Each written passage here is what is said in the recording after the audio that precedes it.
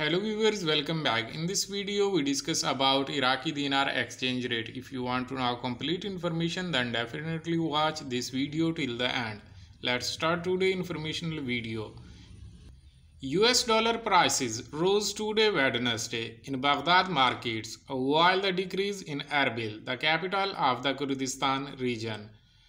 News correspondent said that dollar prices rose with the opening of Al Kifah and Al Harithiya stock exchange to record 155,300 Iraqi dinars against 100 United States dollars. While yesterday morning, Tuesday, prices were 155,000 Iraqi dinar against 100 United States dollar.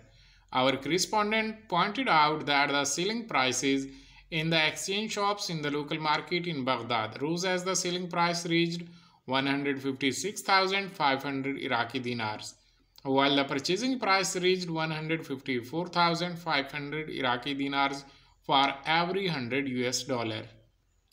As for Erbil, the price of the dollar decreased as the selling price recorded 156,250 Iraqi dinar against the 100 US dollar and the purchase price was 156,150 Iraqi dinar against 100 United States dollars.